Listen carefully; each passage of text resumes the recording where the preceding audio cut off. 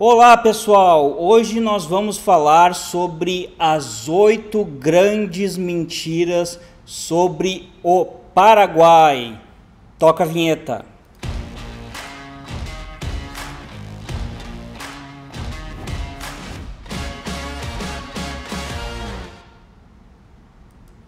Olá pessoal, meu nome é Carlos Schreier, mais conhecido como Brasileiro Sem Fronteiras.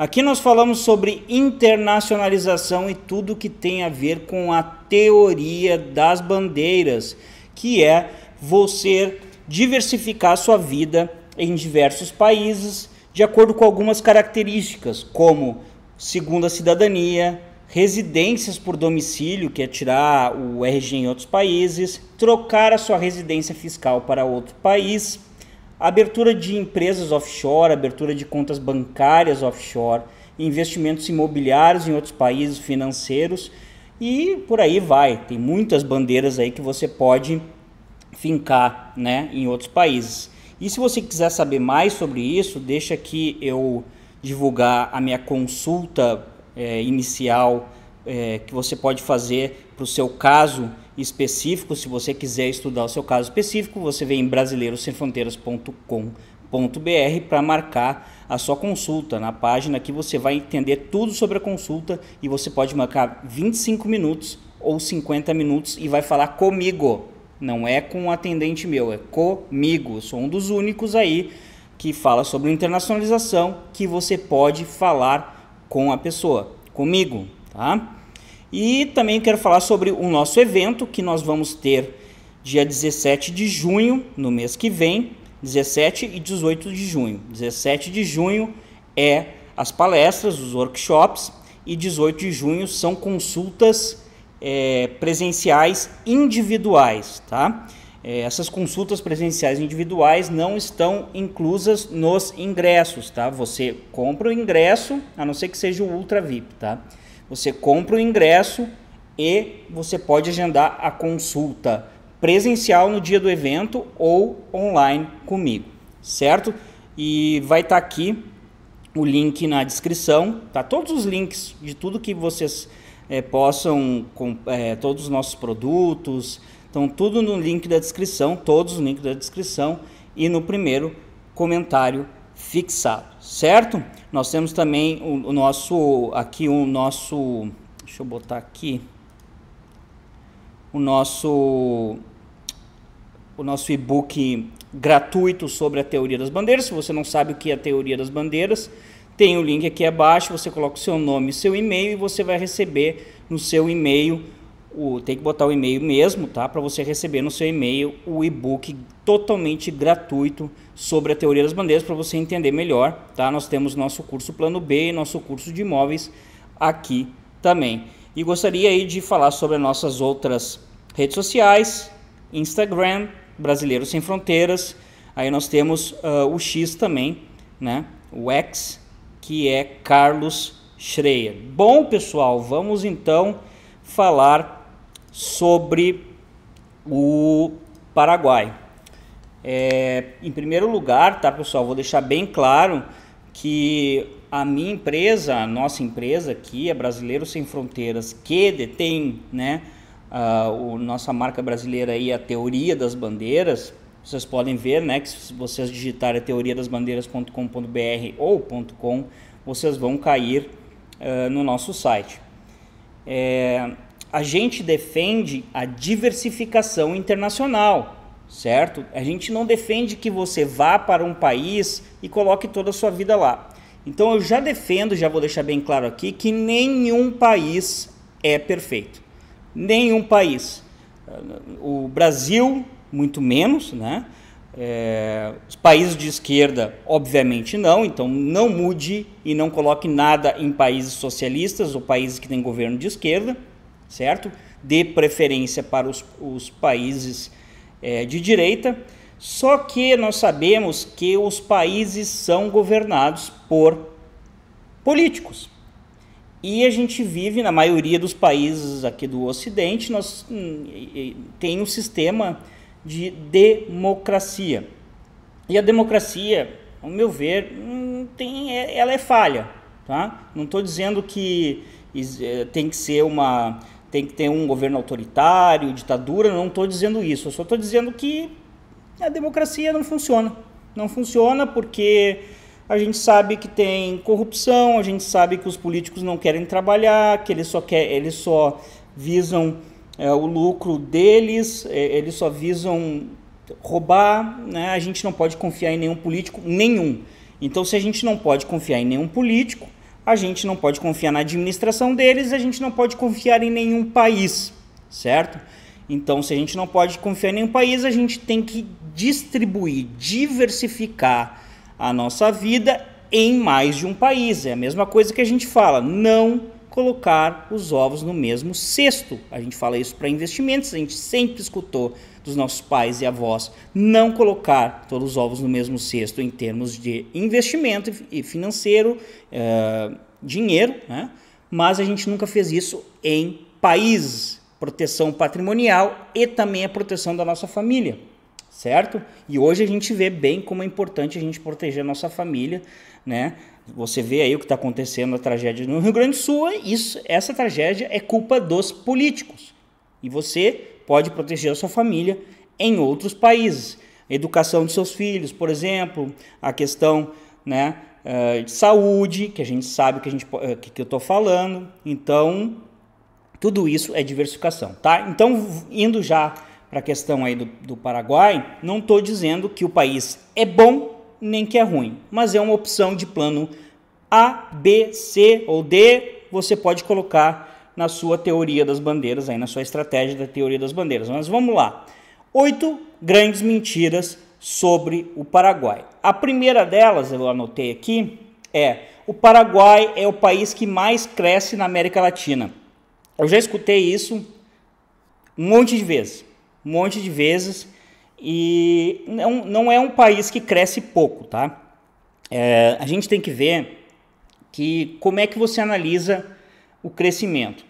Existe assim, eu sou economista, tá? Mas também não sou o melhor economista do mundo, eu só é, leio, tá? E a gente tem que entender que é, quando o país é pobre, quando o país é pobre é, e endireita ali no crescimento, é muito fácil de crescer é, é, a nível alto, né? que nem a China crescia.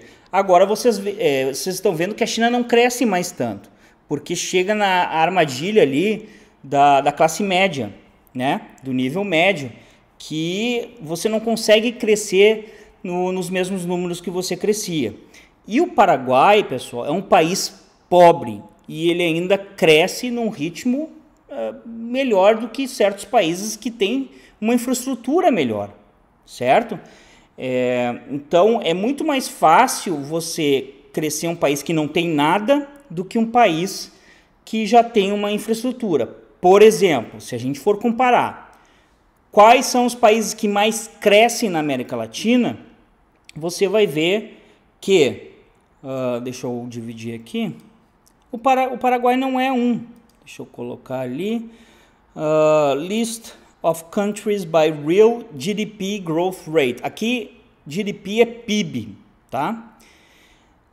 A gente pode ver, eu coloquei aqui no mundo, né, os que mais crescem.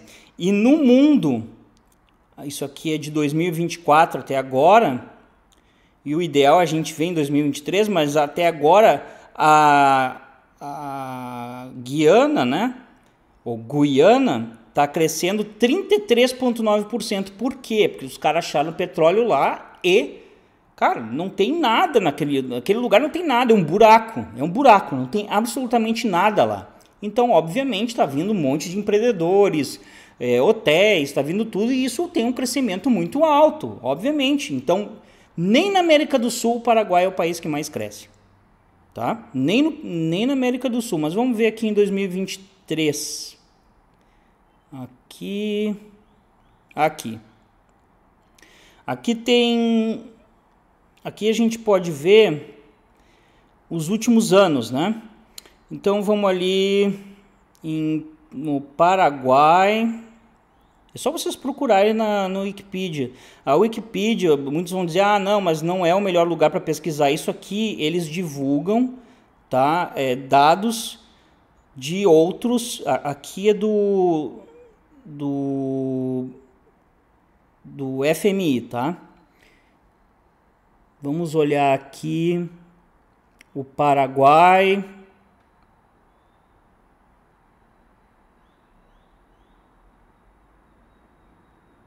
Paraguai.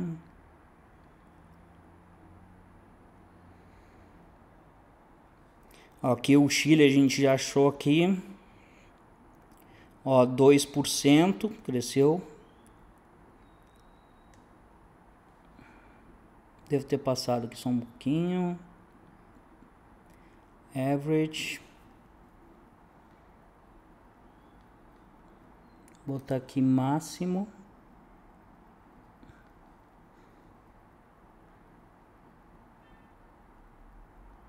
Deixa por ordem alfabética.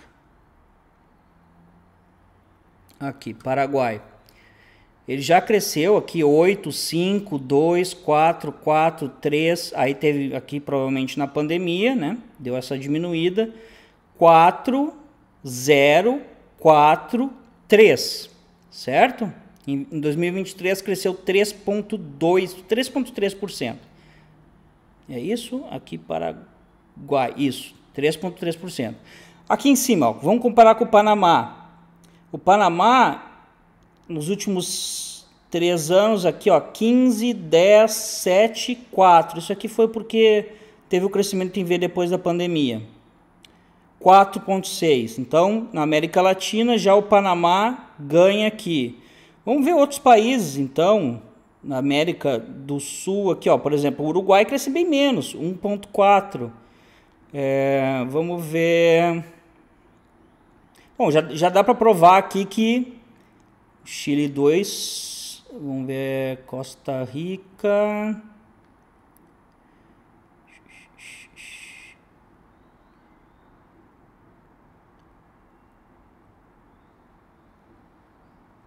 Ó, 3.3 também Costa Rica, igual, 5, 4, 5.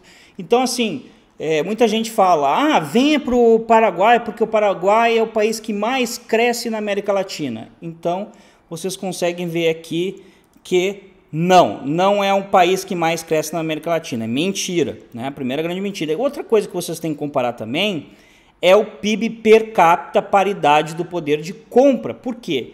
Porque a paridade do poder de compra, ela mede melhor a riqueza de um país a riqueza de uma pessoa, né? É claro que é a média, mas PIB nominal, pessoal, é, não é o, o, a melhor forma de ver a riqueza de um país, por exemplo, porque a China é a segunda mais rica do mundo e as pessoas ainda são pobres. Então dá para ver que PIB nominal não é a melhor forma. Então aqui nesse list of countries by GDP PPP per capita, aqui você pode ver que Luxemburgo tem cento, no, pelo uh, FMI são 143 mil em 2024, certo? 142 aqui pelo Banco Mundial e assim a gente tá lá jogado em 2021. Então tem Irlanda, né?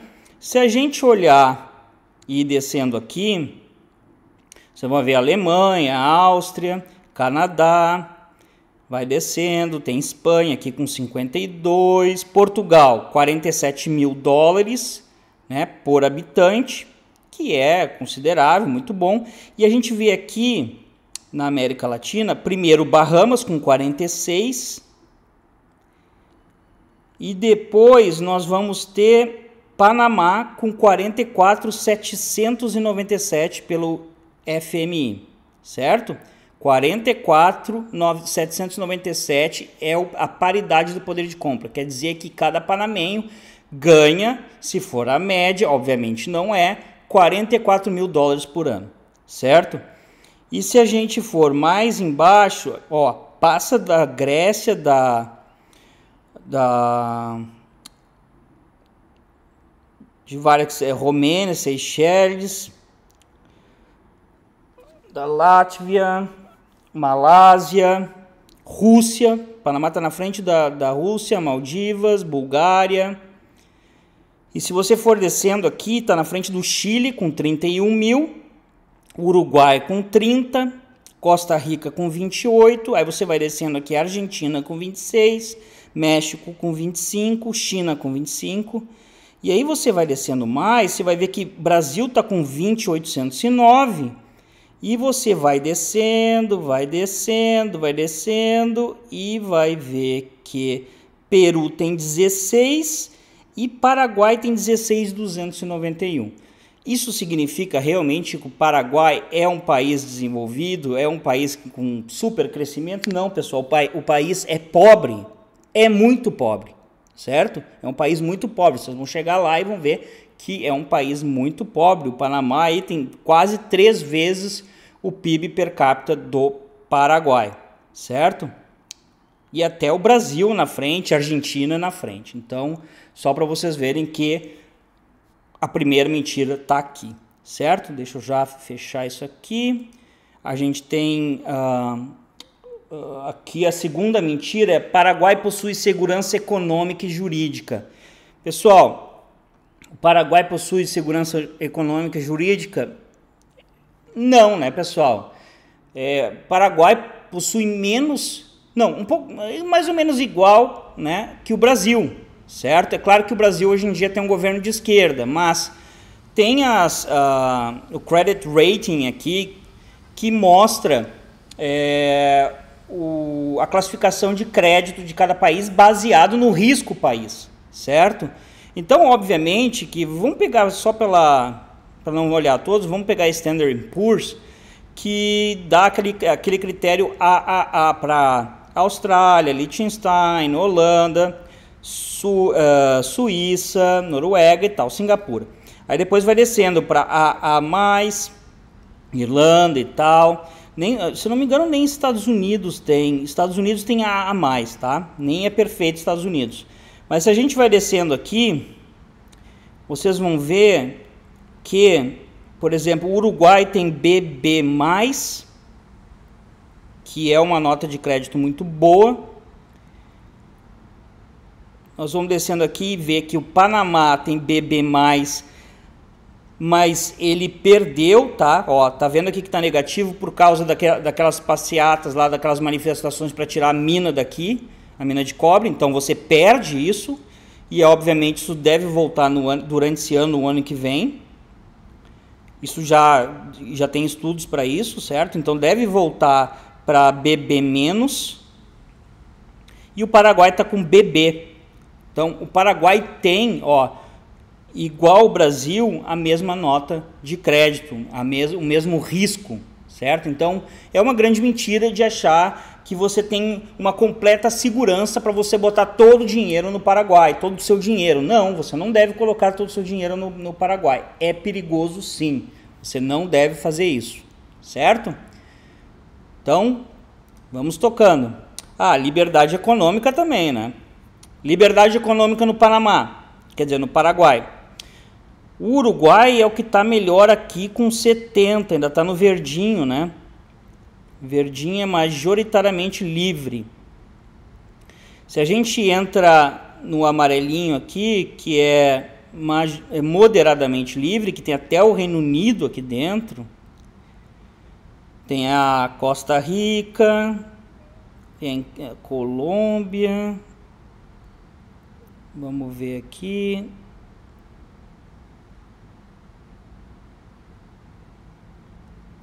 Vamos ver o que a gente acha aqui.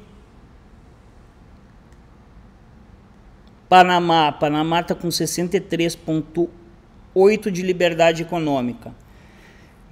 Se a gente cai no vermelhinho, o vermelhinho é majoritariamente não livre, certo?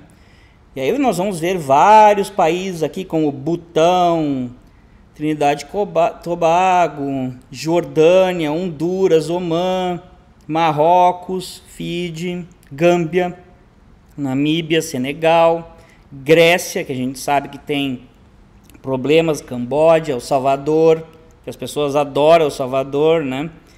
Nicarágua, vai descendo, descendo, a gente tem o nosso querido Brasil, aqui 53.5, né? E eu devo ter passado aqui Paraguai.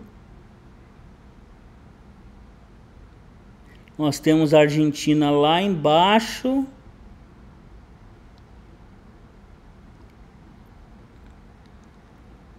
Desculpa aí, pessoal, se eu sou meio cego aqui.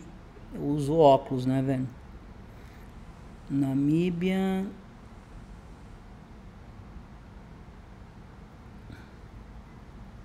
Vamos achar aqui.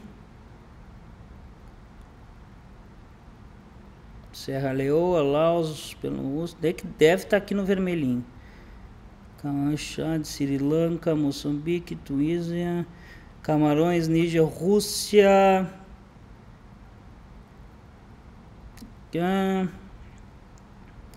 Turquia.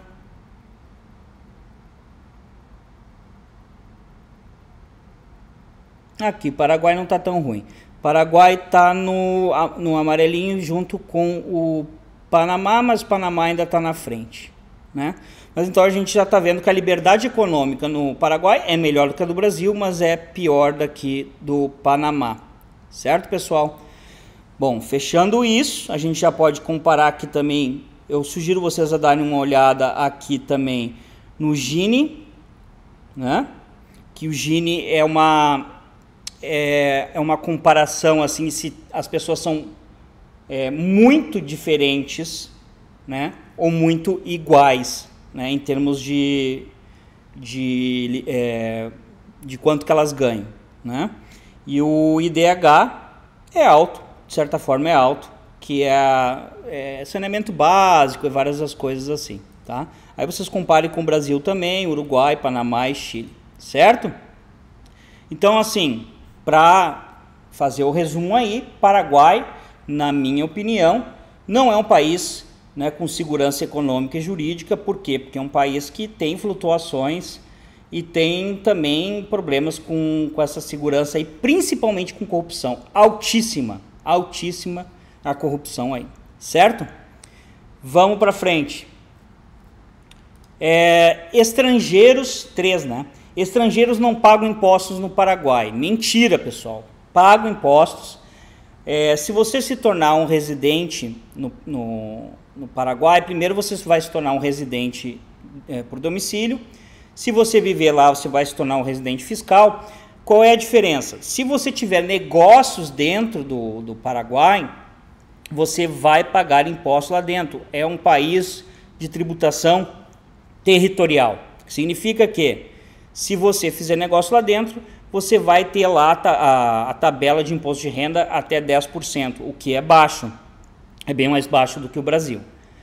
É, porém, ah, tem a lei da maquila também, que você pode lá fazer é, importar um produto, né? colocar é, um pouco de. fazer algum tipo de, de alteração no produto e exportar né, esse produto para outro lugar e ali em cima daquele produto você vai ganhar 1%, só vai pagar 1% de imposto. Essa é a lei da maquila. Então, sim, você paga pouco imposto no, no Paraguai, mas você paga. Tá? O imposto de consumo é 10%, bem melhor do que praticamente a América do Sul inteira. O IVA da América do Sul inteira aí é na faixa de 20%, 22%, 23%. No Paraguai, 10%. Agora você paga, certo? Se você vai importar um carro, você pode importar um carro usado, você vai pagar em torno de 15 a 20% mais ou menos na hora de importar, 20% mais ou menos. Então sim, você paga. Tá? Agora, quando você não paga? Você não paga se você tem negócios fora do Paraguai. Não traz esse dinheiro para o Paraguai, deixa esse dinheiro lá fora. Né? Aí você sim vai poder não pagar imposto. Se você faz é, compra e venda de ações, compra e venda de Bitcoin, o que você quiser, lá fora, sim, você não vai pagar impostos, porque é tributação territorial, beleza? Então, estrangeiros não pagam imposto no Paraguai, mentira, tá? Vamos lá, 4. É, é, fácil abrir conta bancária no Paraguai. Essa daí é muito engraçado porque tem, tem muitos youtubers que falam que é, né? Não é, pessoal, não é fácil abrir. É, eu sugiro você tentar. Vá lá no Paraguai, tenta abrir a sua conta bancária, mesmo que você já tenha residência provisória. Você não vai conseguir. É muito difícil abrir uma conta no Itaú, por exemplo, Santander ou qualquer outro banco. Você tem que ter algum tipo de empresa funcionando já, você tem que ser um, um algum tipo de comerciante, ser um autônomo, é, tem que é, fazer algum tipo de fatura. Se você não tiver isso, você não vai conseguir abrir uma conta. Não vai, ou tem um apartamento alugado, alguma coisa assim. Você não vai conseguir abrir conta. O que que até os paraguaios têm dificuldade de abrir conta, tá? O que que o que que pode se fazer e eu descobri isso é abrir uma conta digital, tá? Nesse banco aqui, o Eno Bank, tá? Ó, sucursal digital, tal. Esse banco aqui, ó, é o banco digital, é o banco, tá até ruim o site aqui, tá? Mas é o banco digital dos Paraguaios, é o que eles falam que é, tá? Eu sugiro vocês dar uma olhada, o Eno, vou deixar o link aqui, o eno.com.py, tá? Dê uma olhada, é, esse esse banco aqui vocês conseguem abrir só com os documentos de residência, que é o, a sua carteira de uh, sua carteira de identidade, né? E a sua, eu acho que não precisa nem dessa aqui. Eu não tentei abrir, eu vou tentar abrir depois para ver como é que é. Mas essa é, essa aqui é admissão temporária. A gente vai falar mais sobre isso aqui, tá? E sim, não é fácil de abrir conta no Paraguai. Então essa é a quarta grande mentira. É fácil abrir conta bancária no Paraguai? Não é fácil. Mentira, certo? Vamos lá. Quinta grande mentira: o Paraguai é um país seguro. Bom, depende seguro, né? Tipo, o Brasil é uma zona de guerra, né? Então, assim, é... Paraguai é um país seguro? Seguro relativamente a Assunção, tá? Aí você vai saindo ali na, na zona na metropolitana ali de Assunção, e já vai ficando menos seguro. No interior não é tão seguro, não é a terra de ninguém. Na fronteira com o Brasil é zona de guerra. Tá? O PCC, Comando Vermelho, dominam aquela região ali de Foz do Iguaçu. Se você não seguir as regras deles, tá? Era que nem lá em El Salvador. Eles dominam, eles mandam no governo. Corrupção total, eles elegem é, pessoas lá no governo, deputado, senador, não sei, e eles mandam tá? Se você não seguir o que eles querem e se intrometer nos negócios deles, ou eles vão mandar você embora, ou eles vão te matar. É assim, certo? Então, não dá para se intrometer naquela região, certo? Não dá. É, se você vai mudar pro, do Paraguai, na minha opinião, ou você muda para Assunção, na cidade, ou você muda para aquela região lá da, das colônias de alemães, na Encarnação ali, certo? É, até você ter uma fazenda, assim, é, é, é, importante que você tenha né, as suas armas, etc. Você possa se proteger, porque não é um país seguro. Tanto que tenta alugar um carro no Brasil e tentar entrar lá. Nenhuma locadora no Brasil vai deixar você alugar um carro para ir para lá. Nenhuma. Você consegue, algumas locadoras do Brasil, alugar um carro e ir para o Uruguai, Argentina, que também é perigoso Argentina, Chile, tá? Mas você não consegue ir para o Paraguai. Você anda todo o Brasil com um carro alugado, toda a Argentina, Chile todo, mas você não entra no Paraguai. Por quê? Porque é onde levam todo, todos os carros roubados do Brasil, certo? Então, é, Paraguai é um país seguro? Não, não é. Assunção é uma cidade segura? Relativamente sim, muito melhor que o Brasil. Tá? Então, se eu fosse viver no Paraguai, eu viveria em Assunção.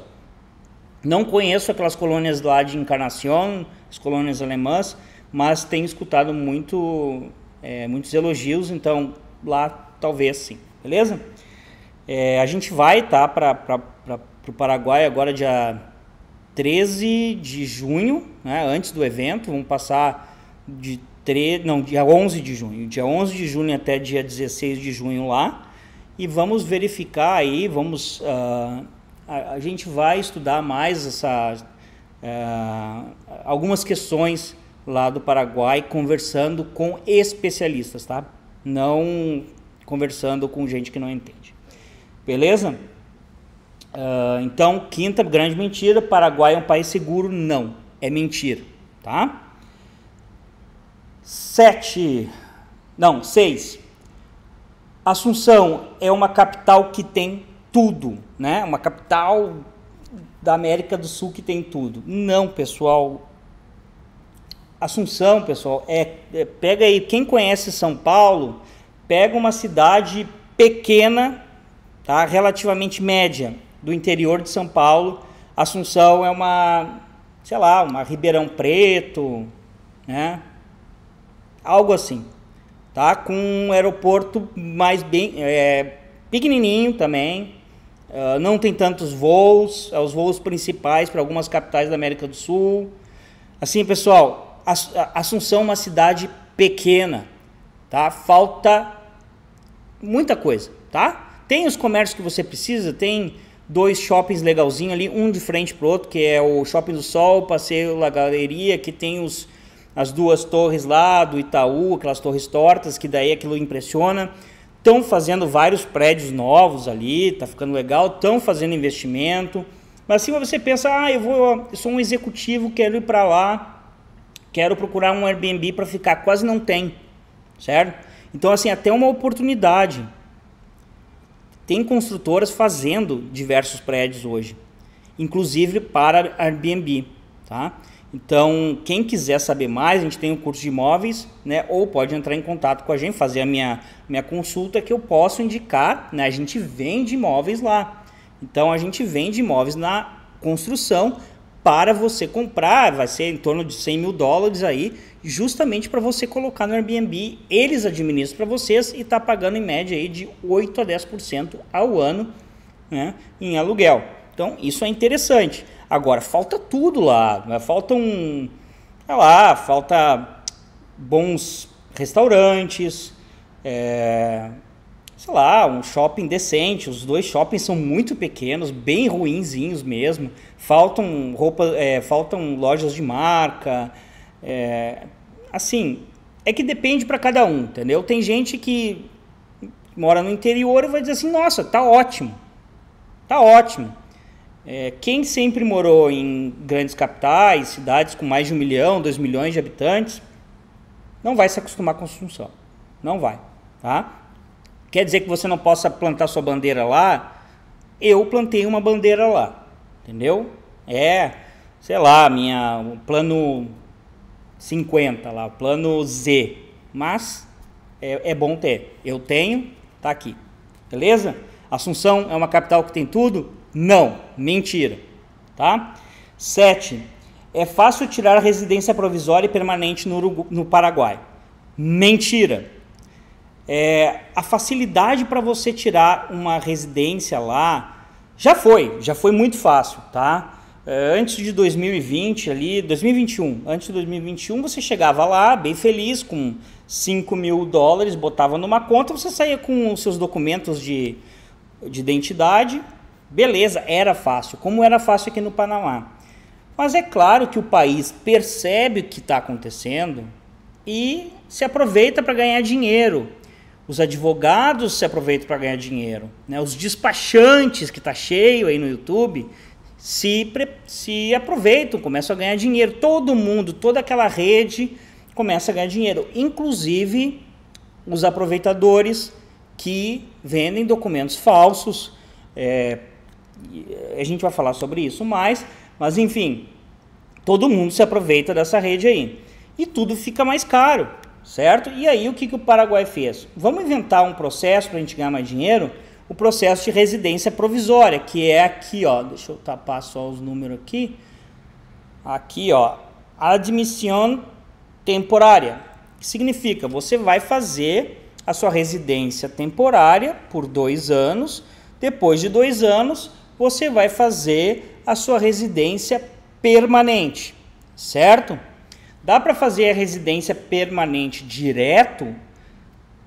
Olha, aí que está a insegurança tem pessoas que dizem que dá, tem pessoas que dizem que não dá. Por investimento, se você chegar lá e propor um investimento para o governo, é, um investimento, sei lá, acima de 100 mil dólares, 200, 500 mil dólares, depende, eles vão permitir que você faça residência permanente, certo? É isso que eu sei. Agora, se não, é mais fácil até você fazer a residência provisória, depois de dois anos você repete o processo, tudo igual, e faz a residência permanente. Porém, quem é que consegue ter a residência permanente? Ou você vira um residente fiscal e vive no país residente fiscal, você vai ter que ter a residência fiscal. Você vai ter que manter a residência fiscal. O Paraguai consegue é, saber se você está vivendo no país ou não? Não. Entendeu? Eles não conseguem fiscalizar. Você pode ter residência fiscal e sair, eles não vão fiscalizar, porque o certo é você viver mais de 120, 183 dias lá. Mas você vai ter que ser um residente fiscal. Você vai ter que fazer o seu imposto de renda lá, vai ter que estar tá de acordo com a residência fiscal aí você vai ter a residência permanente. Ou você tem que ter um curso superior. Você tem que trazer todos os documentos do seu curso superior no Brasil e ter a residência é, é, permanente. O que, que eu vou fazer? Eu vou ter a minha residência permanente pelo meu curso superior. Um dos meus cursos superiores, eu vou lá. Eu não quero viver no Paraguai, eu não quero tirar minha residência fiscal lá. Eu vou ser um residência permanente através do meu curso superior. Então, é fácil é, essa tirar a residência provisória também está demorando, tá? Estão complicando, está demorando esses últimos meses, então não é bem assim, certo? E a tendência é eles complicarem cada vez mais, demorar cada vez mais, como no Uruguai, está demorando um ano para tirar, certo? Então não é fácil. Então essa é a sétima grande mentira, beleza? E a oitava grande mentira que é uma das que eu gosto mais, tá? Que isso, nossa, eu escuto assim no YouTube, é, tem muita gente falando, principalmente é, YouTubers, até os americanos, YouTubers assim de é, internacionais que, que vendem um serviço para os Estados Unidos, para americanos ou para europeus, que estão trazendo. É, pessoal, os americanos estão saindo, europeus estão indo. Tem muito europeu ali da, da Romênia, Bulgária, Polônia, que está tirando a residência por domicílio, que não é cidadania, tá? e indo para o Paraguai. Mas uma coisa que eu escuto é que você pode tirar a cidadania paraguaia. Aí tem uma questão que isso é muito importante, pessoal. Muito importante. Quem é que pode tirar a cidadania paraguaia? Somente quem nasceu no Paraguai ou quem é filho e neto de Paraguai. Certo? Esse é o básico. Esses daí podem também ter dupla nacionalidade com outros países. Ponto? Só esses. Se por um acaso um estrangeiro vem para o Paraguai para viver no Paraguai e quiser ter a cidadania paraguaia, ele vai ter que renunciar à cidadania que ele tinha. Por exemplo, você brasileiro vai para o Paraguai mudar agora e você quer ser um cidadão paraguaio com o passaporte, você vai renunciar obrigatoriamente, senão você não vai ser um paraguaio, a sua cidadania brasileira. Certo? Ou você continua só com a brasileira e não tem a paraguai. Tá? Salvo e você pode ler na Constituição, que é o melhor lugar para ler essas coisas, tá, pessoal? A Constituição de um país tem lá as regras de cidadania é, você pode ser um cidadão do antigo país e do Paraguai com, com múltipla cidadania, dupla cidadania, países que têm acordo de, é, de múltiplo, né? Um acordo é, com o Paraguai. Qual é o único país que tem um acordo? Espanha. Espanha é o que está escrito lá, certo? Se o Brasil vai ter um acordo um dia, não sei. Tá? Estão falando que a Itália ia ter e tal, Argentina. Não tem. certo? Se você nasceu em outro país e quer ser um paraguai, você tem que perder a nacionalidade. Aí você vai se tornar um paraguai. Em três anos vivendo como residente permanente, você vai renunciar à sua cidadania anterior e vai virar um paraguai. Se você não quer, se você quer manter Brasil e Paraguai, beleza. O que, que o pessoal anda fazendo? Porque você vai dizer que tem gente que tem a cidadania, né? Tem. Fazendo coisa ilegal, pessoal. Comprando a cidadania por 5 mil dólares, por 10 mil dólares, de forma ilegal, com político metido nisso. Certo? Então, se pegarem, vai acontecer que nem o Ronaldinho Gaúcho. Vá pra cadeia. Vá pra cadeia foi isso que aconteceu com o Ronaldinho Gaúcho. Pegaram ele, estava lá, documento de é, passaporte com a cara dele lá e sabiam que era um brasileiro ainda. Ficou para cadeia. Certo, pessoal? Então, não faça isso. Não faça. Vai pelo com advogado, faz isso direitinho, tá? More, viva lá no Paraguai três anos abdique da sua cidadania anterior e vire um paraguaio. Ou espera ter algum tipo de acordo. Ah, mas eu vou pegar a, Espanha, a espanhola primeiro e depois você. Você vai ter que renunciar a brasileira igual. Né? Você só pode ter as duas. Então não pega o do Paraguai. O passaporte é ruim. O passaporte é muito ruim. Certo? Ah, mas ele tem entrada para os Estados Unidos lá no visto E2 e tal. Beleza, mas aí você pega o espanhol e pronto. O espanhol permite você ter brasileiro e espanhol. Então pega o espanhol, vive dois anos na Espanha e pega. Beleza? Então é uma grande mentira que você pode ser cidadão paraguaio e brasileiro. Tá? Beleza? Então é isso, pessoal. É, se vocês quiserem saber mais sobre como conseguir, a gente faz todo o processo de residência provisória e permanente. Tá? É, nós, é, nós trabalhamos com empresa, abertura de empresa lá, certo? Se você quiser conseguir os seus documentos fiscais também lá, a gente faz tudo. Tá? A gente só não abre a conta bancária porque é praticamente impossível, a gente não pode ajudar isso para você.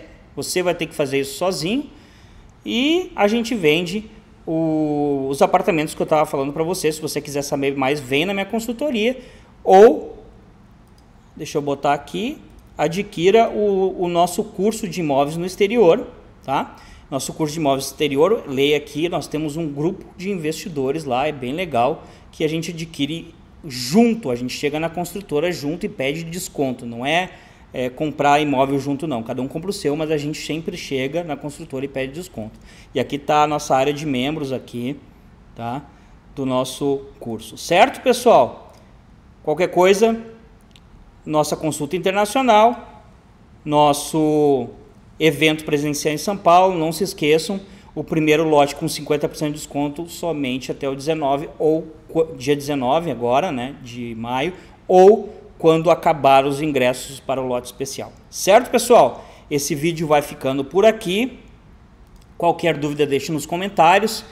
É, dê o joinha aí, sigam o canal, tá? Passem isso para os seus amigos, porque é, informações desatualizadas, ou às vezes a pessoa não sabe, bota informações no YouTube, ou às vezes está fazendo de má fé.